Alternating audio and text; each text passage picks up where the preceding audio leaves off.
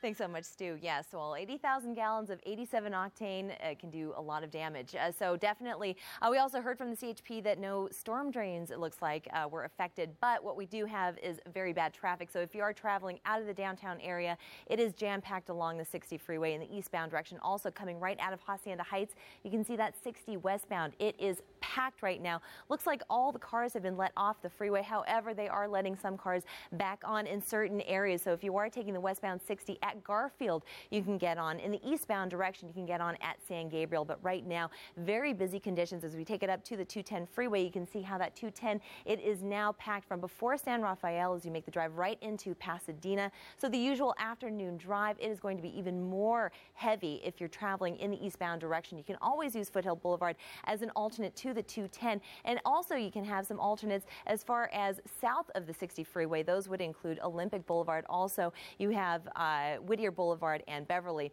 Uh, right now, though, that drive along that 60 freeway, it is a nightmare there. And you want to keep this in mind for the morning commute because we are going to have a very heavy commute and you're going to want to use those surface street alternates. Paul, back to you.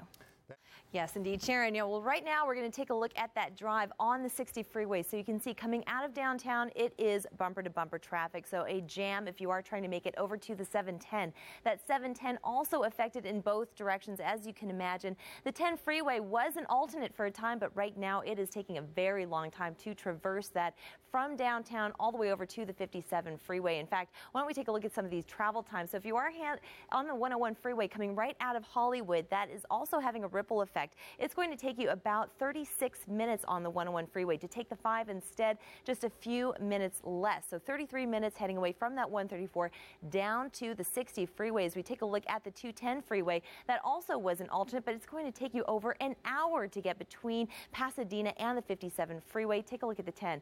80 minutes, almost an hour and a half if you do want to take it out of Monterey Park right into West Covina. So again, do try to avoid it, but these are your alternates. Some of them aren't really going to uh, apply to you today because Garvey and Valley near the 10 freeway, those are sold out right now. Beverly, Whittier, or Olympic Boulevards would be your best bet. Those are all south of the 60 freeway, and do keep those in mind for your morning commute tomorrow. You're definitely going to need those. We'll send it back to Sharon. All right.